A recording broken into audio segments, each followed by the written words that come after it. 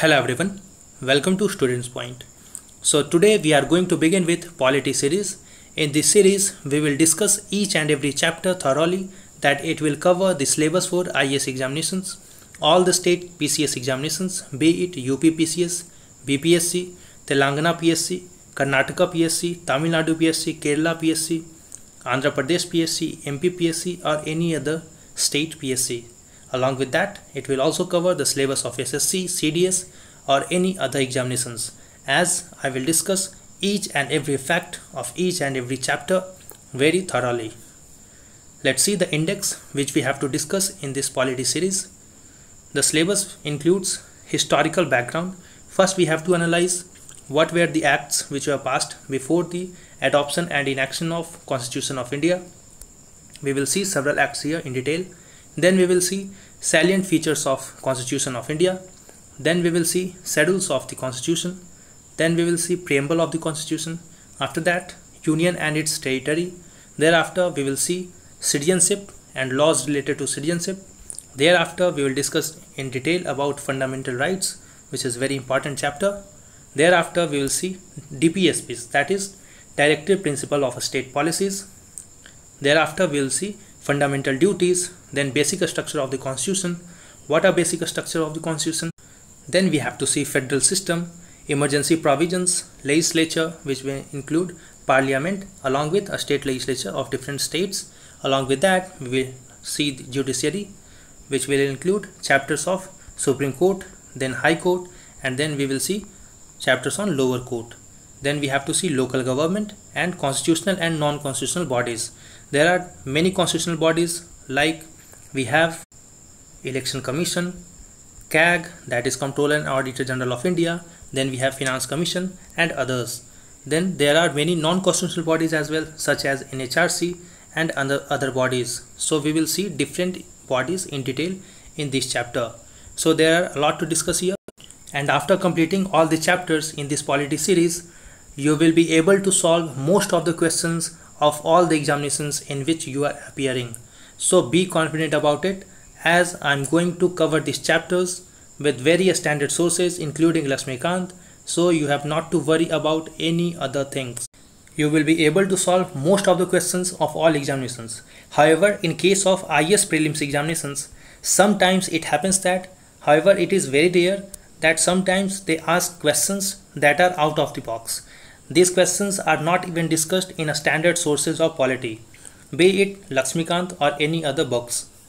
So hardly they ask one two questions each year which you will not be aware of and you will not heard about that topic anywhere else. So you have to respect those questions.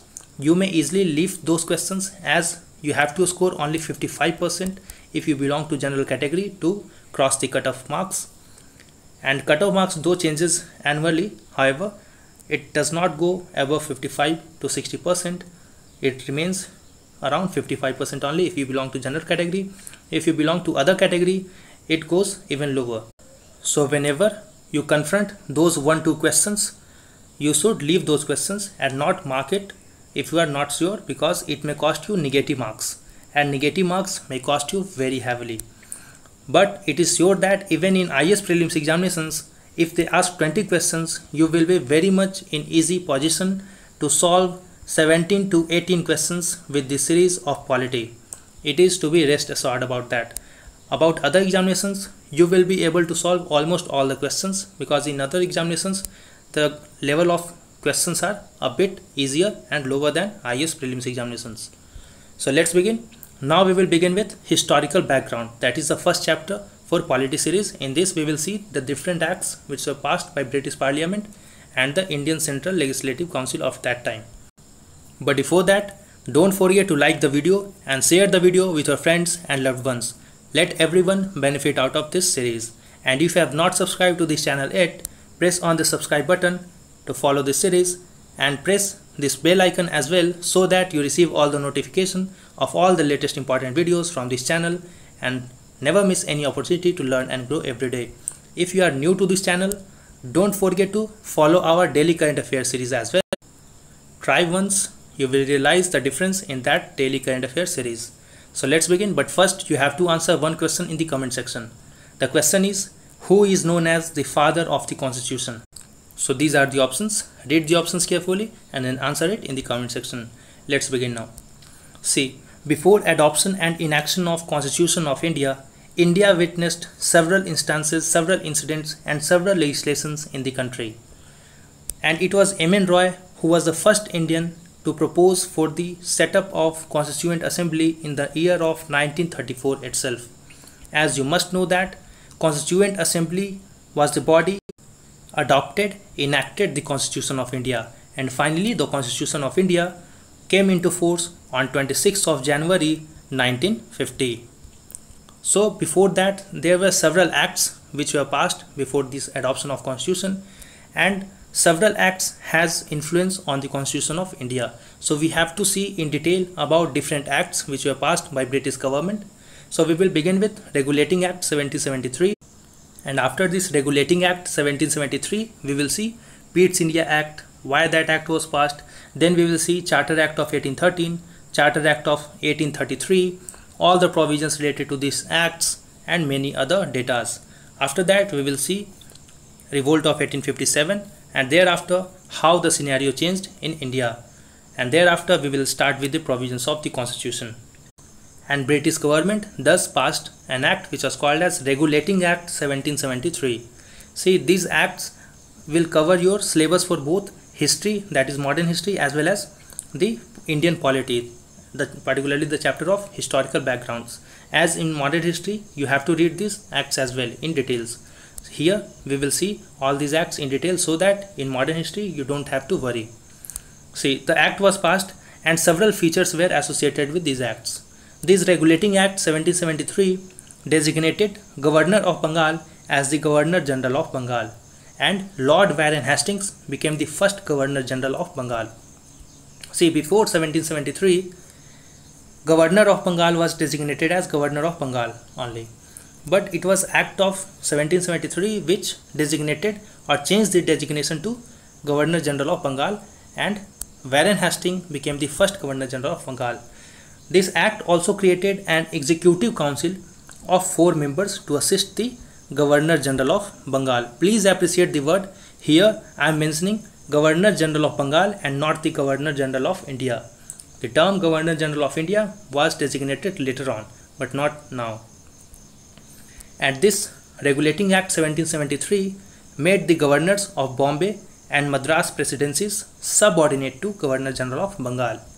So now Governor of Bombay and Governor of Madras were to be subordinate to Governor of Bengal as Bengal at that time was the most prominent and most important province for the British government, particularly for East India Company. This act also prohibited the servants of the company from engaging in any private trade or accepting presents, bribes from the natives. This act required court of directors, which was the governing body of the company, to report on its revenue, civil, military affairs in the India. So there was a body called as court of directors. This body was responsible for governing East India Company. However, British government when passed this act kept in mind that we have to control the actions and activities of court of directors. That is why the act involved a provision that court of directors are required to report to the British government on all its revenue, civil and military affairs in India. This Act 1773 also provided for the establishment of Supreme Court at Calcutta in the year of 1774.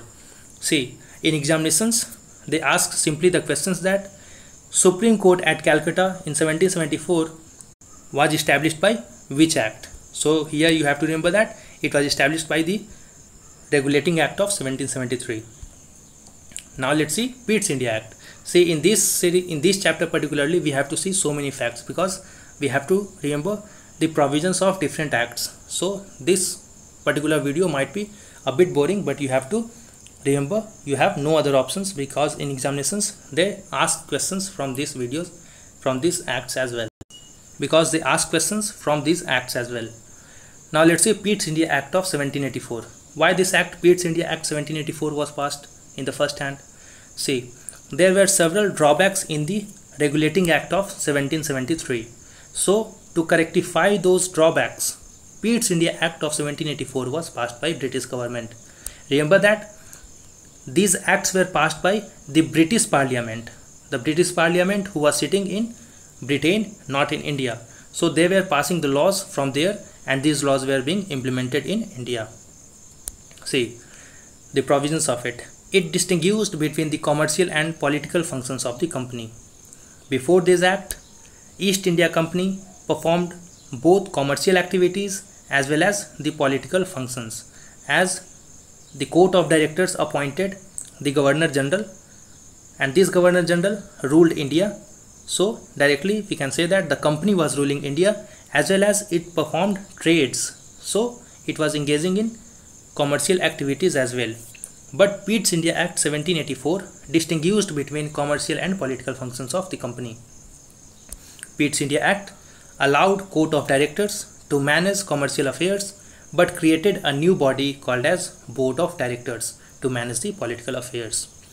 So i hope you understand here that before 1784 both commercial and political functions were done by east india company.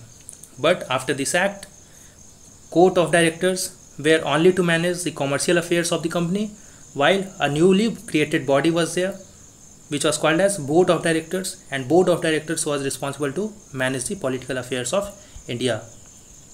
This board of directors also had to supervise, direct all operations of civil, military, revenue affairs of the British possessions in India. Thus, it established a double government. How the double government worked?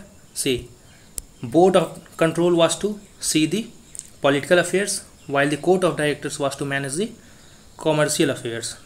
So this is how two governments were ruling India now. And company's territory in, in India were for the first time to be called as British possessions of India. So this statement is very important. Several examinations have already asked this question that after which act countries or companies territory in India for the first time were called as British possessions in India. So it was Pitt's India Act 1784 one thing I want to ask you here whether you are getting the difference between company and British government? See British government was government which was sitting in Britain.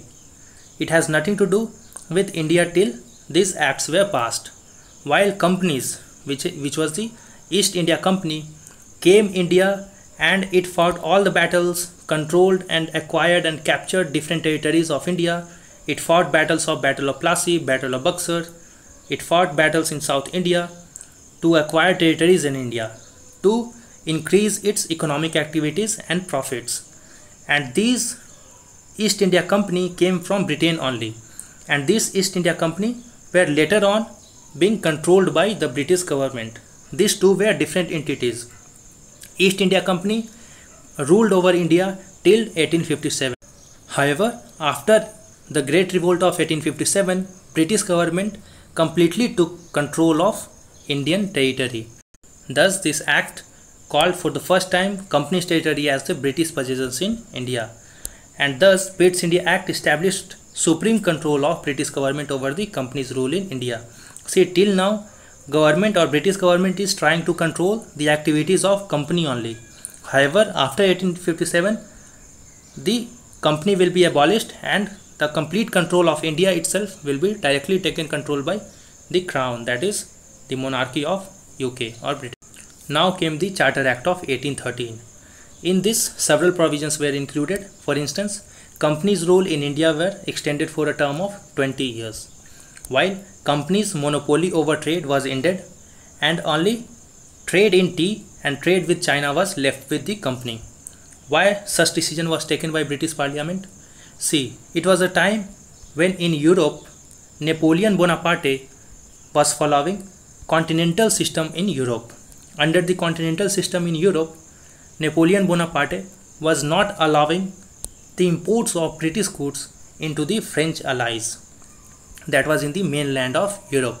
So merchants and traders in Britain was facing losses and were tensed. So they started pressurizing British government that allow us to to do trade in Asian, particularly in Indian territory. So under the intense pressure of British merchants and traders, British government decided to pass this Charter Act of 1813 which included this provision that ended the company's monopoly over trade and allowed British merchants and traders to trade with India and other Asian countries as well. And it empowered local governments to tax people subject to jurisdiction of Supreme Court. This act also allowed missionaries to come to India and engage in religious propagation. Thereafter, we see the Christian missionaries entered into India and started spreading Christianity in India as well. And it this act of 1813 also set aside rupees 1 lakh for education. Now this provision is again very important. They will ask you that rupees 1 lakh for education was dedicated by which charter act? So it was charter act of 1813. However, this 1 lakh rupees was unspent was unspent for several years.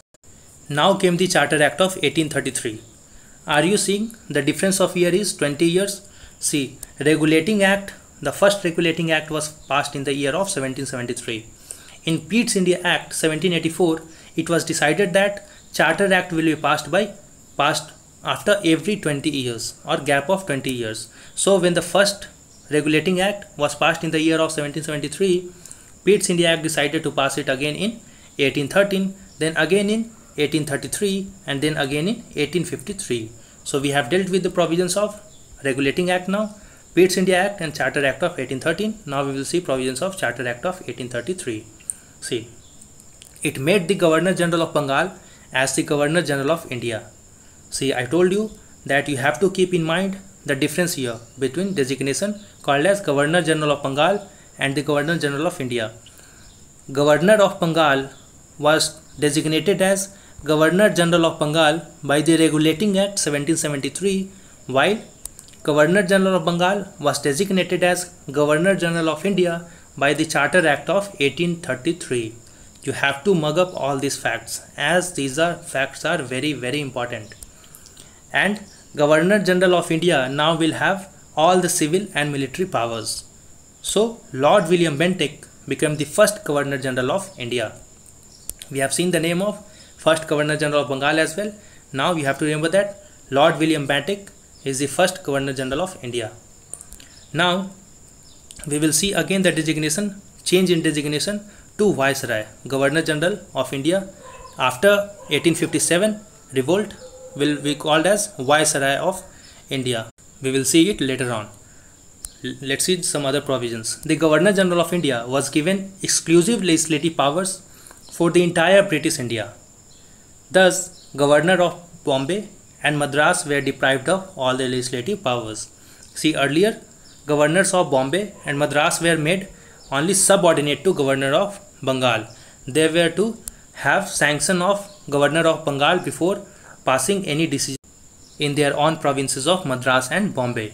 However, Charter Act of 1833 clearly said that all the legislative powers of Governor of Bombay and Madras will be now rested with the Governor General of India and they were deprived of all the legislative powers. And the laws made under the previous acts were called as regulations while the laws made under this act that is the act of or the charter act of 1833 were to be called as acts these are the different distinctions this act also ended the activities of east india company as a commercial body so this statement is again very important that which act ended the existence of East India Company as a commercial body. So it was Charter Act of 1833, which act ended the trade monopoly of East India Company except for the trade in tea and trade with China. So it was Charter Act of 1813, not 33. So remember both the differences. And now East India Company was reduced purely to a administrative body. This Charter Act of 1833 also provided that the company's territories in India were to be held in trust for His Majesty, his heirs and successors. This act also attempted to introduce a system of open competition. However, this attempt was negated because of huge opposition from Court of Directors.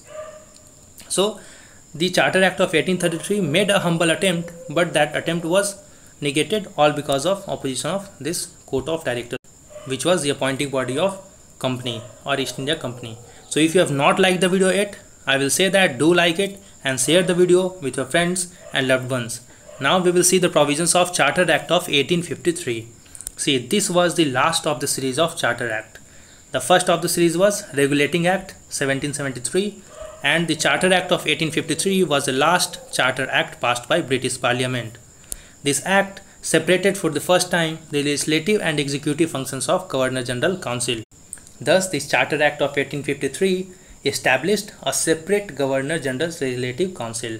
This Governor General's Legislative Council was to be called as Indian Central Legislative Council. Thus, it is very important to remember this fact that Indian Central Legislative Council was established by Charter Act of 1853 and it also provided for addition of 6 new members to the council and these 6 new members out of which 4 members were to be appointed by local governments of Madras, Bombay, Bengal and Agra. Thus, this act introduced for the first time the local representation in India or Central Legislative Council. So till now you have to remember all these facts. Thereafter, the Great Revolt of 1857 occurred and then British government passed Act of Good Government of 1858. Thereafter, we will see the Indian Council Acts. These Indian Council Acts were passed by the Indian Legislative Council itself, not by the British Parliament. So there is difference between those Charter Acts and Indian Legislative Council Acts. These Charter Acts were passed by the British Parliament themselves, while the Indian Council Acts were passed by the Indian Legislative Council themselves. Remember this difference as well. So I hope you find the video useful. Don't forget to subscribe and press the bell icon. Share the video with your friends and loved ones. Wait for the upcoming video. If you are not following the daily current affairs series, follow that series too. You will find a lot of many important facts there as well. Wait for the upcoming video. Until then, stay at your home, stay safe, and thanks a lot.